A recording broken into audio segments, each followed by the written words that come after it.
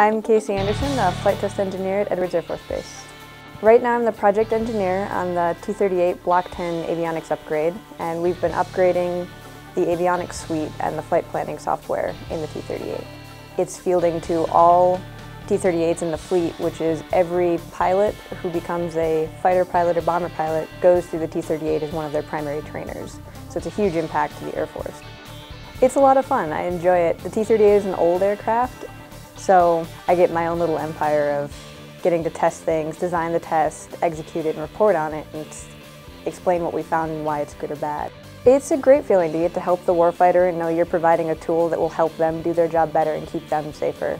And that's really what our goal is, without any monetary value placed on it. We just want a good product.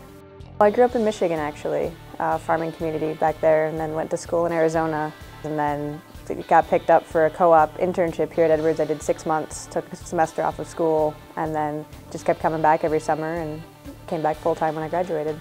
I think a career at Edwards is great for someone who has a passion for aviation. That's what keeps me here, is that I get to work with pilots and aircraft and developing new aviation technology, and that's a lot of fun for me. I love the job and I'm constantly impressed by the people I work with, and that makes it worth being here.